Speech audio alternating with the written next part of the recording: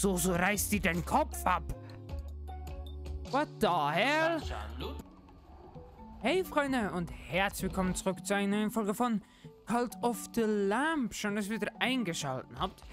In der letzten Folge haben wir einen Kreuzzug gemacht, glaube ich. Ist ein bisschen länger her, als ich die letzte Folge aufgenommen habe. Dann bin ich mir nicht mehr so genau sicher. Heute gehen wir auf jeden Fall zur Sporengrotte und schauen dort vorbei und machen dann wieder einen Kreuzzug, hätte ich gesagt. Ja, komm. Äh, hier noch kurz ein paar Samen reinmachen. Ich mache noch da die Kürbissamen rein, die wir vom letzten Kreuzzug haben. Perfekt. So, Betten haben wir genug glaube ich. Ah ja, und wir haben noch einen bösen Typen, genau. Den müssen wir noch bekehren. Moxie. Müssen wir noch... Ah, dann haben wir am heutigen Tag schon. Jetzt ist Nacht. Okay, wir gehen kurz... Oh, es ist... Irgendwo ist schmutzig. Hier. Kurz reinigen, dann gehen wir in die Sporengrotte rüber.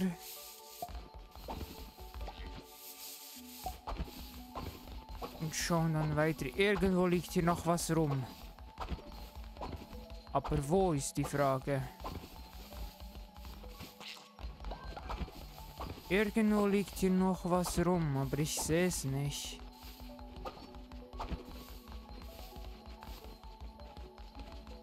Wo ist hier noch was? Bin ich blind?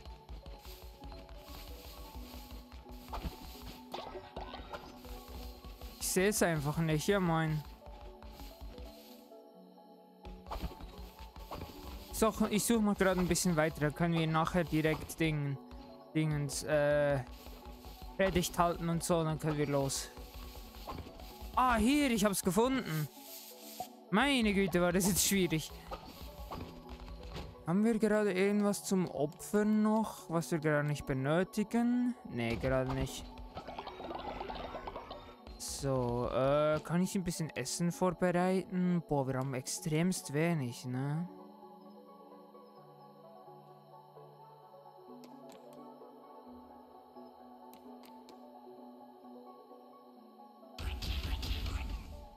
Noch ein paar von denen. Und noch ein paar von denen. So, das ist doch top. Dann haben die noch was zu essen. Und dann können wir in die Sporengrotte. So, der Tag sollte gleich anfangen. Happy hat noch einen Auftrag für uns. Oh, im Bett müssen wir noch reparieren. Ich wusste, dass du es schaffst. Du bist wirklich göttlich. Nice. Ah, war ein Auftrag abgeschlossen. So. Perfekt. Äh, dann bekehren wir Moxie. Sollte der dann freundlich sein jetzt, ne? Ja, nice. Lassen wir den frei. So, perfekt. Dann wir jetzt kurz eine Predigt und schauen dann weiter. Äh, Rituale haben wir... Äh, Doktrinen meine ich. Haben wir keine gerade, ne? Ne. Rituale opfern und aufsteigen lassen will ich eigentlich nur die, die alt sind. Weil unser Kult ist zu klein für dass wir einfach so leichtsinnig Mitglieder opfern. So, wir haben neues Zeugs. Wir machen drei neue Flüche. Das klingt doch nice.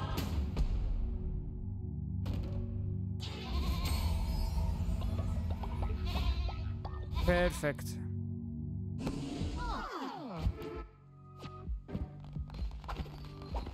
So, dann gehen wir jetzt rüber in die Sporengrotte und sehen uns das dort an. Was dort so abgeht.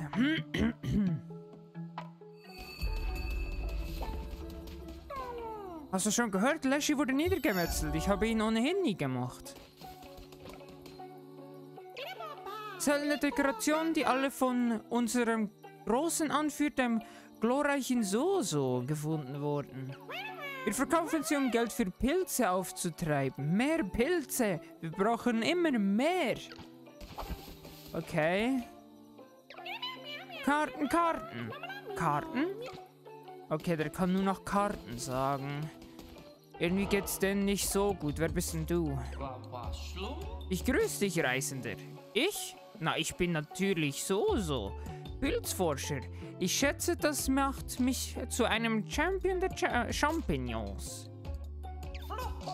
Nur ein kleiner Witz, den Soso gerne macht. Ja, ja, Pilze sind Sosos Leidenschaft, aber Soso braucht mehr. Soso braucht immer mehr. Oh Gott, der ist...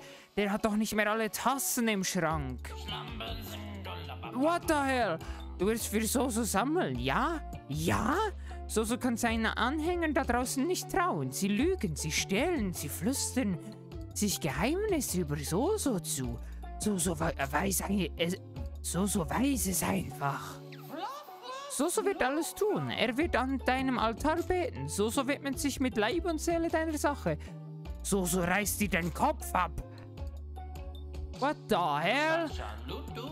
Ähm, Soso zeigt dir, wie du die Kraft des Pilzes nutzen kannst, damit sich die zerbrechlichen kleinen Köpfe deiner Anhänger deinen We Wegen öffnen.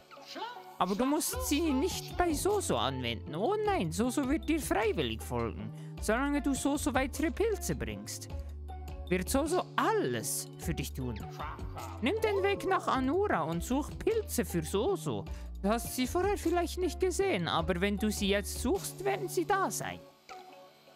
Ich kann ihm jetzt schon Pilze geben. Hier, hast, du hast du Pilze.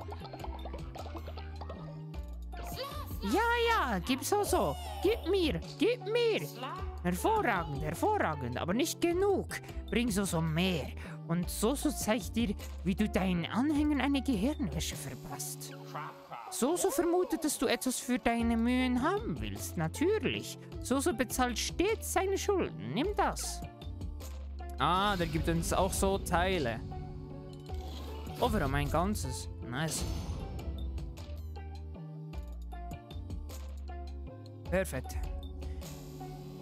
Liese, du hast alle vier Teile eines heiligen Talismans gefunden. Talismane sind mystische Relikte, die die rote Krone verwenden kann, um neue Liese freizuschalten. Am Altar in deinem Tempel kannst du Vliese freischalten und dich damit ausrüsten. Ah, okay, mit dem kannst du also neue Kleidungsstücke holen. Okay, wir brauchen auf jeden Fall mehr Pilze. Ey, aber der Typ ist doch nicht richtig gebacken, Mann. Der Typ ist sowas von nicht richtig gebacken. Irgendwo liegt hier wieder Ding herum. Wessen wurde wieder abgegradet. Nice. Äh, ich mach da noch ein bisschen Ding rein. Und dann gehen wir auf den Kreuzzug, hätte ich gesagt. Hier in Anura. Schauen wir doch mal. Tückisches Schwert. Ah, nice. Und den Plasmaschuss. Okay.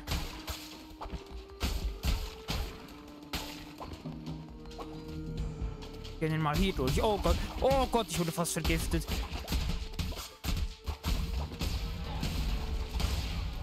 Oh. Es ist gar nicht so lange her, dass du die rote Krone dass wir die rote Krone verstoßen haben. Gerade mal ein paar tausend Jahre oder so. Die Ketzerei, die sie predigte, war nicht zu tolerieren. Solch schändliche Ideale konnten wir nicht dulden. Für diese verachtenswerteste aller Sünden muss die Strafe langwierig und schmerzhaft sein. Ich lasse eine Hungersnot über deinen Kult hereinbrechen. Und durch unkontrollierte Gier und grenzenlosen Ehrgeiz wurde göttliches Blut vergossen. Ja, moin, okay. Wir haben ein Problem, liebe Leute. Wir haben ein Problem. Wir müssen Gas geben. Wir müssen Gas geben. Wer bist denn du? Ah, die rote Krone und die Bestie göttlich. Komm, ich habe Werkzeuge für dich, ja? Sie wurden von Schemach gefertigt. Meine Brüder, sie mögen hübsche Dinge besitzen, aber meine macht mächtige Dinge. Wirst du zusehen? Wirst du zugreifen? Was wirst du im Tausch geben? Dein Fleisch, deine Knochen, deine Krone? Ah, ah, ich scherze. Ich mache Witze. Ich werde nichts nehmen. Nichts für Schemach. Was sind denn das für Dinger? Ah, Relikte. Ich glaube, die geben uns irgendwelche Fähigkeiten. Kann das sein? Ateriles Puderdose. Verwende ein zufälliges Relikt. Turuas Tentakel. Erzeuge ein Tentakel, das bei Berührung Schaden verursacht. Finger des Exorzisten. Beschwöre einen Dämon, der dich im Kampf unterstützt. Stihis Zunge. Spawnen Bomben im ganzen Raum. Shunre Ruhes Talisman. Werde kleiner. Kudais Zehennagel. Beschwöre einen neuen Fluch mit erhöhter Stufe.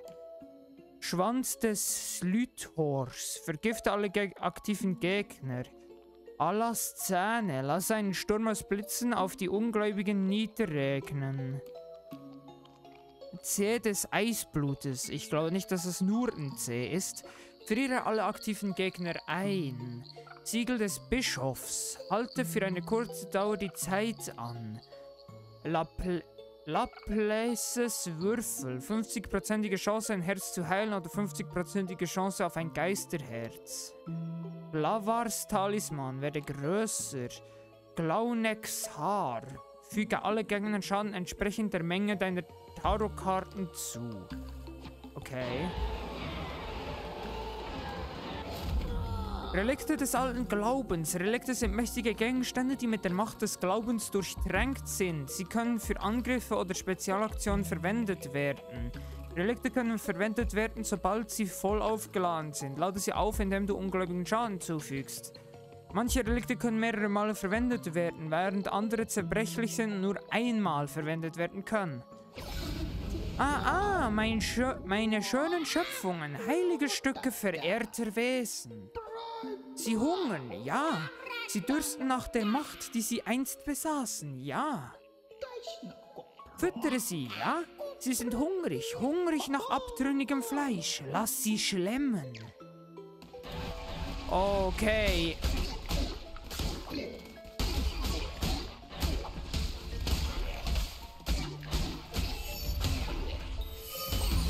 Oh, nice. Ah, ja. Besser als eine alberne Karte. Besser als ein spitzes Schwert. Shemak ist besser. Kleiner Gott wird wiederkehren. Shemak wird Relikt geben. Shema wird Relikt fertigen. Shema wird eines Tages Relikt aus dir machen. Wait, what? Adieu. Äh, er wird eines Tages ein Relikt aus mir machen. Das passt mir nicht ganz. Ich vertraue dem nicht ganz. Aber solange der mir hier OP-Relikte gibt, bin ich einigermaßen zufrieden. Aber wir müssen auf der Hut sein, weil sonst sind wir plötzlich ein Relikt. Und, und auf das haben wir keinen Bock irgendwie.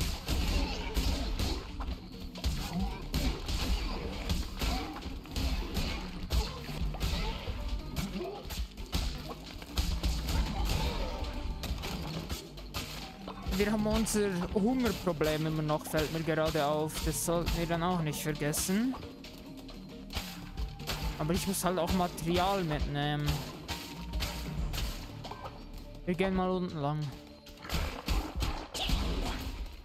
Vielleicht ist das hier auch nur eine Sackgasse. Die killen sich mit ihren eigenen Waffen. Ah, das ist eine Sackgasse hier. Oh, eine Tarotkarte. Angriffstempo erhöht sich. Nice. Können wir ein bisschen schneller angreifen. Perfekt, dann müssen wir jetzt wieder zurück.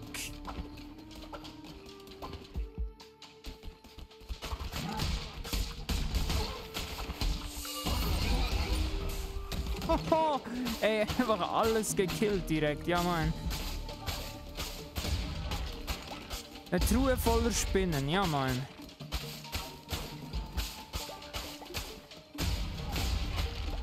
So, kurz den ganzen Stein mitnehmen. Das ganze Gras, weil das brauchen wir zum Bauen von Gebäuden. So, und jetzt weiter, schnell. Bombenspawner. Okay.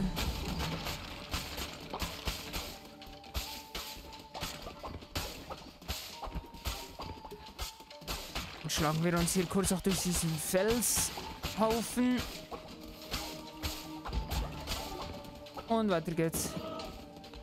Yes. Ein Haufen Kürbisse, okay. Halloween-Dekoration.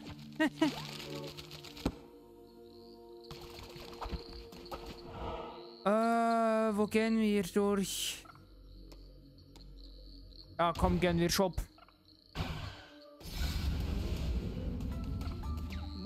Was ist das? Fluchangriffsschaden hört sich um 1,5. Wie viel? 30 Coins. Nehmen wir mit.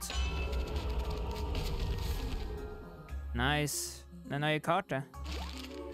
Im tiefen Schock von der Essenz der Götter. Nehme ich eine Anhängerform mit. Ein Frosch.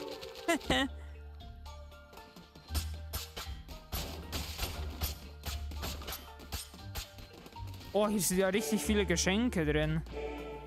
Geschenke für die Anhänger, nice.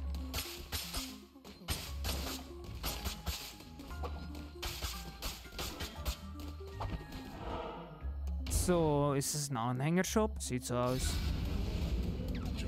Ich liebe das Knacken, Knacken ihrer kleinen Knochen. Kleine erbärmliche Kreaturen, aber so lecker. Äh, 6, 87% Rabatt nehmen wir mit, ey. Für 6 Coins retten wir den Kleinen. So, mitgenommen haben wir ihn. Ich nehme noch seinen ganzen Knochenzeugs mit. Er hat auf jeden Fall viele Knochen. Der ist die Kleinen einfach. Ja moin, seht euch die an, wie die hier angebunden sind. Na. Come on. So, machen wir die nächste Stage. Gegnerische Schadensenergie halbiert. Also Lebensenergie, aber dafür doppelten Schaden. Okay, wir müssen wieder extrem aufpassen.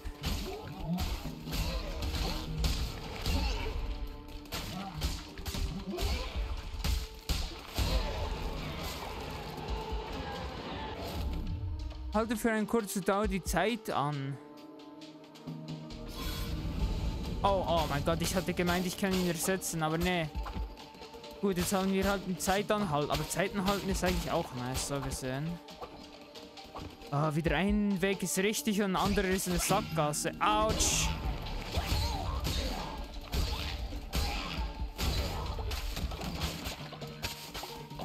Ah, das ist die Sackgasse hier, okay. Wir haben irgendwie extrem wenige Tarotkarten. So gesehen. Es ist ein bisschen mühsam. Mal schauen.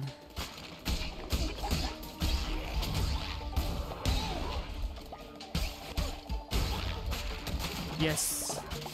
Okay, die hätten wir auch. So, dann mal weiter. Nein, ich bin mitten in diesen Drecksfrosch reingelatscht.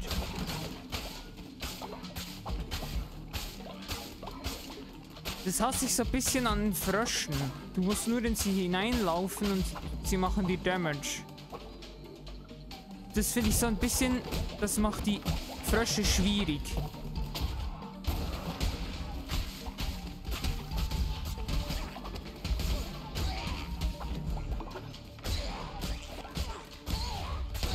So, wir haben's. Das war jetzt ein bisschen nerviger Raum mit diesen Bounce-Pilzen, aber es hat geklappt, also. Ist doch perfekt, wenn es klappt. So. Hier durch. Oh, eine Karte, yes. Äh, 10% keinen Schaden zu erleiden. Das ist doch nice.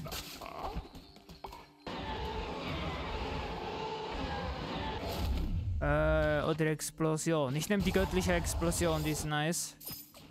Wir kaufen das andere und gehen Boss-Stage. Dann auf zur Boss-Stage. Noch kurz das Ding mitgenommen. Die Hingabe. Und dann geht ihr weiter. Nein, ich wurde von wurde vom anderen mit seinem Bogen getroffen. So, boah, habe ich die weggeballert.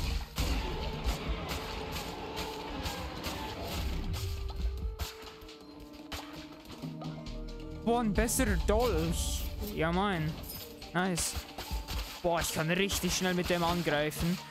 Das ist richtig nice.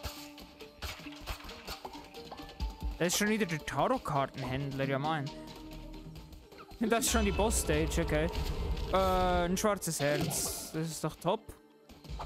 Aber ich will noch kurz die anderen Räume machen.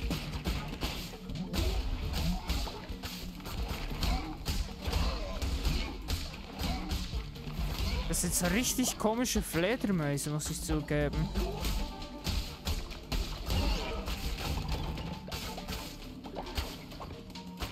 Oh, wir haben noch eine Blaupause bekommen. Das Lamm aus Holz geschnitzt. Das sieht auch nice aus. Die Dekoration. So, dann gehen wir hier in die Richtung.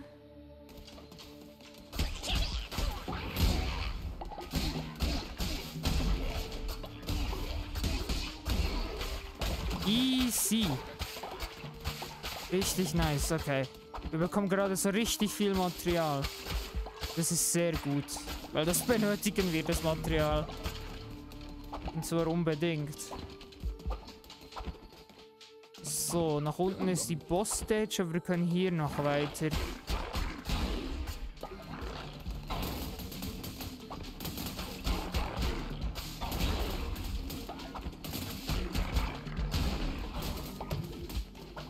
Oh, hat sich doch gelohnt. Wir haben noch ein Geisterherz gekriegt. Sehr gut. Perfekt. Gehen wir da nach unten. Zum Boss. Separ.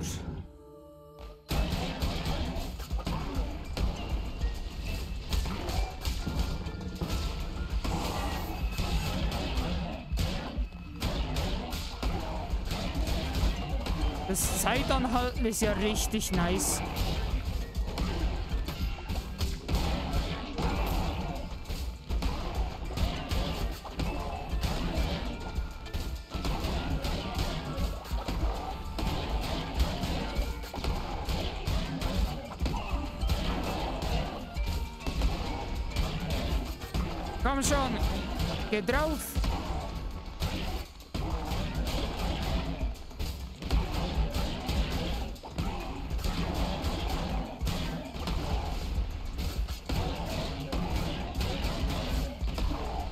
Yes, wir haben ihn.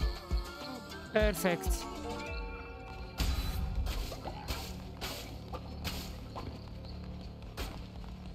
So, nehmen wir ihn mit. Oh, mitgenommen. Perfekt. Oh, wir können noch was mitnehmen. Äh, ein Geschenk, Kürbissamen. Ich nehme wieder die Kürbissamen mit. Kann auch gut benötigen. Yes, eine Doktrine. Nice. Oh, wir können nächste Folge vielleicht schon Boss machen. Ja, moin. Ketzer besiegt. Boah, 123 Knochen. Was? Okay, das ist nice.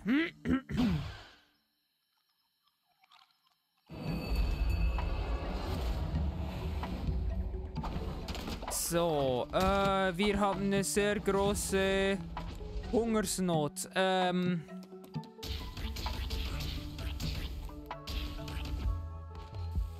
Wir müssen erst mal kochen.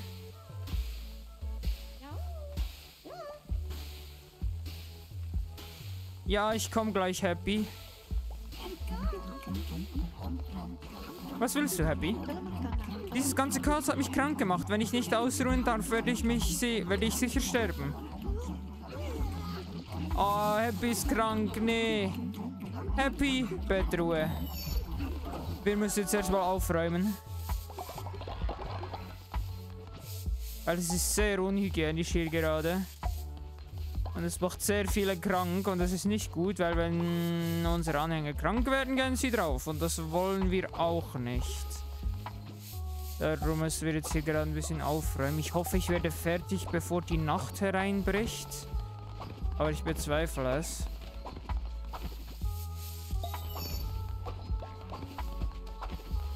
So, jetzt ist alles voll. Perfekt. Yes, und wir haben noch eine göttliche Inspiration. Äh, bessere Unterkünfte, Opferstatue, Dämonenbeschwörung. Das klingt spannend. Aber ich glaube, ich nehme mal die Opfer der Statue. Eine Statue, bei der Anhänger zu deinen Ehren Opfer hinterlassen können. Komm, nehmen wir doch, die ist nice. Wir haben, glaube ich, noch einiges zu bauen. Was wir noch bauen können. Wenn ich mich nicht täusche. Reicht doch gerade für in die Ding. Krone. Doktrine. Yes, es hat noch gerade gereicht. Äh, Besitztümer.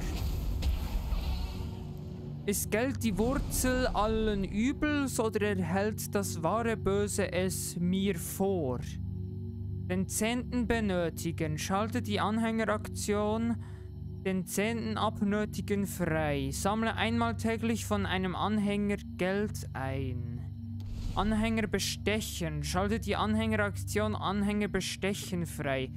Bestich einen Anhänger mit drei Münzen, um seine Realität zu erhöhen. Na, ich, ich will nicht bestechen. Ich will Zehnten abnötigen. Aber das werde ich, glaube ich, kaum brauchen. Weil wir haben eigentlich genug Geld, aber... Man weiß ja nie, man weiß ja nie. Darum einfach mal mitgenommen. Wir haben noch so eine Scherbe.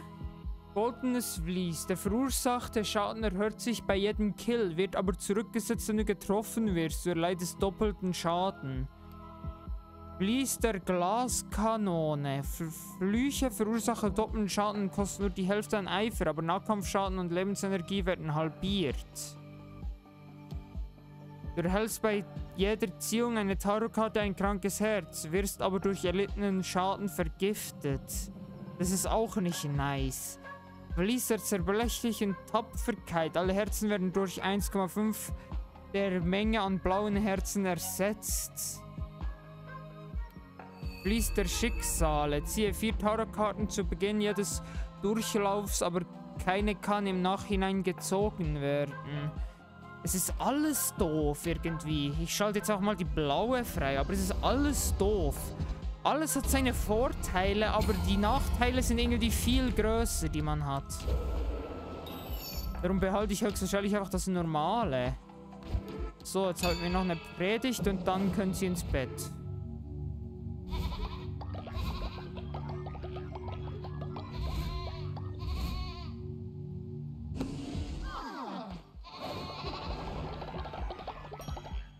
So, ein paar haben noch gerade ein Level gemacht. So, ihr könnt jetzt ins Bett. Oh, es ist schon... Oh, upsala, tut mir leid. Äh, du kannst ins Bett, weil du pennst mir gleich fast an Ort und Stelle ein. So, ich hätte gesagt, ich repariere noch kurz hier die Betten. Hätte ich gesagt, ich bedanke mich wieder herzlich fürs Zusehen. Wir sehen uns in der nächsten Folge von Cult of the Lamb wieder. Schaut gerne meinen anderen Projekten vorbei. Wir werden höchstwahrscheinlich in der nächsten Folge ein bisschen bauen. Und höchstwahrscheinlich einen Bosskampf machen. Oh, Penne, was möchtest du? Wohlwollender Anführer, bitte verurteile mich nicht, aber ich wollte schon immer eine Mahlzeit aus Kot essen. Kannst du mir damit helfen? Ja, das machen wir in der nächsten Folge. Ich bedanke mich herzlich fürs Zusehen. Schaut gerne meinen anderen Projekten vorbei. Und bis zum nächsten Mal.